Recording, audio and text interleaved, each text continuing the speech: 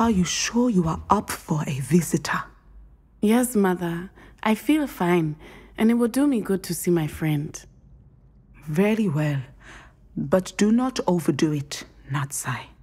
I know, Mother.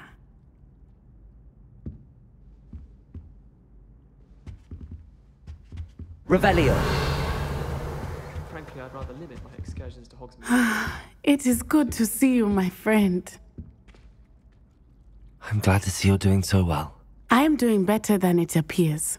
I am only here because my mother insisted, just to be safe. I was relieved when she told me that you were all right.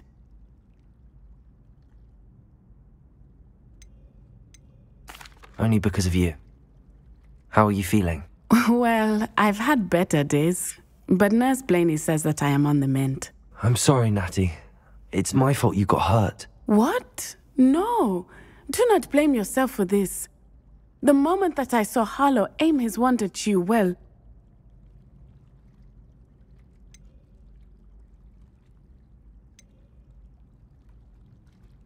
You did what came naturally. I suppose it was instinct. Yes. I could not simply stand there and let you get hurt. Then I shouldn't feel guilty. Of course not. There was nothing that you. Oh. Oh my. I cannot believe that it took me this long to see it.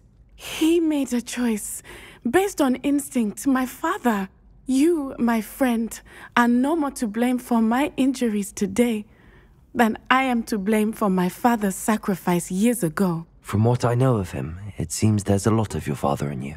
That's very kind of you to say. I hope that you are right. This has all been a bit much, hasn't it? Taking down Harlow and the rest of Rookwood's lot. But we have done it. Rookwood is dead, Harlow is on his way to Azkaban, and the rest of them are on the run. A few of the dregs will still be about, fighting for their lost cause. But Rookwood's enterprise has fallen apart. Everything is safer now because of us. Because of you. Thank you, but we make a formidable team.